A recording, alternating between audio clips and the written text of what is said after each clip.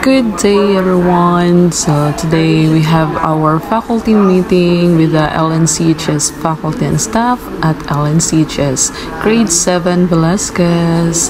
So katabi ko ngayon ulit si Ma'am Queenie, Joy Joy, Arjifel. So may chika-chika din kami. Then presentation by the grade 12. Ta, grabe sayaw, Ma'am Angel. Ta, pak, pak, ta, ah, ta, ta, ta. Star of the night. So, char. So, followed by the grade 11 teachers. So, kanta din sila. And 2, 4, 6, 7 attendance. Diba? Dami din ila.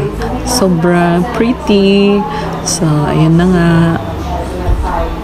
special presentation pa rin. Ah, shout out sir Ayaton at the back.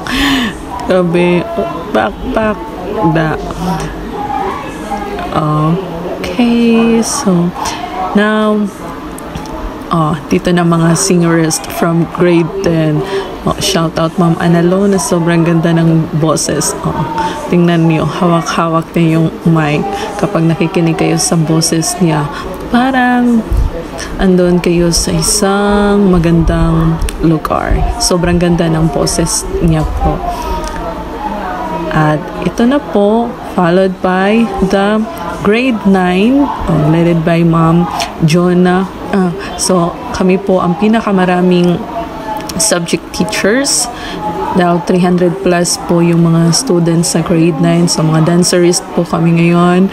Uh, shout out po sa mga lalaking teachers namin. Sir Basaka, go go go Sir Heradora, Sir Louie at tabak ko Ma'am Arch. Ito, may bagong import pa pala kaming teacher Ma'am Joy.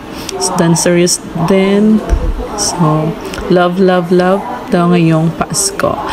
So, hindi rin magpapahuli po ang grade 8 teachers. Ba, ang saya-saya po nila. Uh, Ma'am Shaira, pretty pretty, Sir Iglesia. Then, ito na yung mga grade 7 teachers. Shout out, Ma'am Queenie! Servon at the back, pak, pak, pak. Then, oh, hindi din papahuli si Ma'am Pipito. Then, ang admin po, nandito po ang aming principal, Ma'am Banudan, with a special guest, Ma'am Shaira. So, ayan na nga. So, malapit na matapos yung